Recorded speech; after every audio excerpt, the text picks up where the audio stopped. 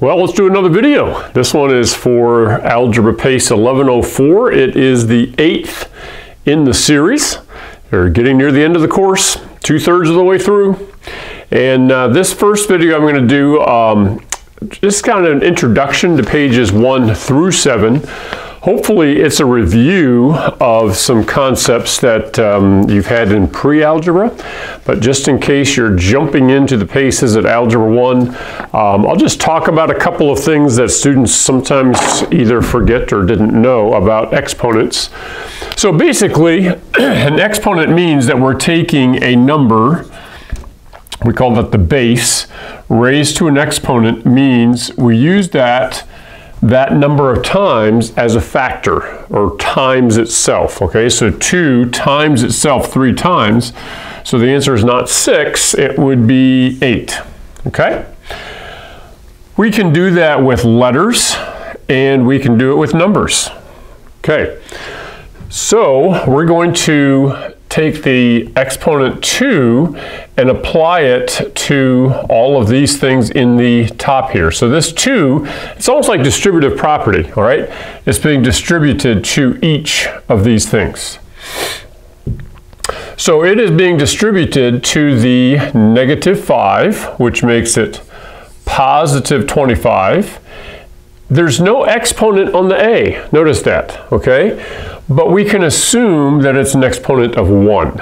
So we're multiplying 2 times 1, so we would get a to the second power, b to the 2 times 2 to the fourth power, and that's going over 10, and then we keep the a squared b, all right? Now what this literally means is, and you don't have to do this when you're solving it in long form like this, but I just want you to see it so you understand. 5 times 5 times a times a times b times b times b times b, okay? All over 2 times 5 times a times a times b, okay? So that's what the a squared is AA. We have the b, a squared up here is a times a, and then we have 4 b's. Now, this is, you can kind of do this in your head, okay? Or there's a shortcut that I'll show you in a minute.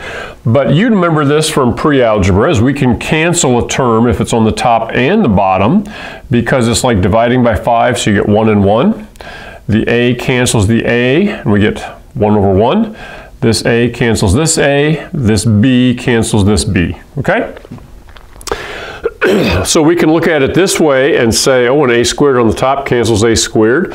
We could also think of it as subtracting the exponents. So this one, 4 minus the 1 would give me b to the third on the top. Now here I'm simplifying just like we've been doing since elementary school with fractions. And I can uh, simplify that, dividing them both by 5. And so I get 5 on the top, and I keep the 2 on the bottom. All right, a squared cancels a squared. And so the answer literally is 5 b to the 1, 2, 3 power all over 2. And that's what I get here. All right, I should have put those closer together. But anyways, you get the idea.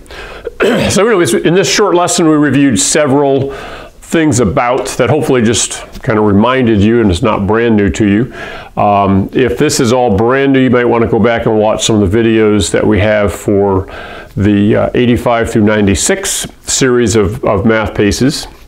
And I think I go into a little more detail on some of these exponent concepts. All right, but I'm going to assume you can get up through the first checkup, and then uh, we'll dive in with some lessons that come after the first checkup.